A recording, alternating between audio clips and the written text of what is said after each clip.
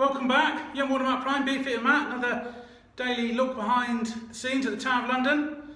Before we start, I have been asked by my social media advisor, my 23 year old son, that I've got to ask you to like and subscribe to this channel. I've absolutely no idea what that means, but if that means anything to you, do that.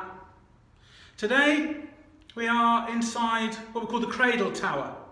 Cradle Tower doesn't look much today, it's easy to forget it, but it had a very, very important job. It was built by Edward III, and he built it as a private river entrance to the Tower of London.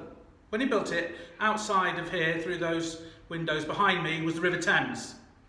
Obviously, he didn't want to come down the Thames and have to go through Traitor's Gate. He didn't want to have to push through the peasants, thong in the main gate. So he would come to this private gate.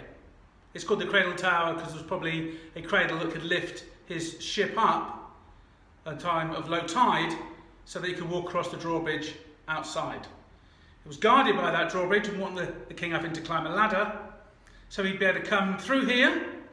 When he was inside here, it's a very simple tower. It's guarded by some portcullis, but there's two chambers. There's a chamber behind me. They're both for the guard, for yeoman porters, Inside is, you see there, a nice fireplace to keep them warm. The other side, the porter would sit in a, a small room, which is now dressed as a cell, because it has quite a lot of historical interest. I'll, I'll mention that in a moment. But there's a staircase then that went upstairs. Upstairs, there were some beautifully furnished apartments for the king. Then he could walk across uh, another bridge made of stone that went across the Lanthorn Tower, that's now gone. Uh, then you can go into the royal apartments.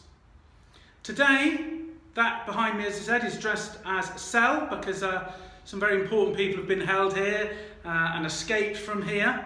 Um, one of those is John Gerard, but I'm going to do John Gerard and talk to you about John um, in the Salt Tower because it's what he's much more famous for. It's a small tower here, you have to go down some steps to see it, much uh, much maligned, much left out by the public. People sometimes just walk straight past it, they want to go and see the jewels, but ask if you don't know where it is, ask where the Cradle Tower is and come down and, and have a look at it. It's well worth seeing, a lot of history in this small tower. But for now, that's your lot. So keep safe, look after each other, be kind to each other, Beefeater Matt, signing off.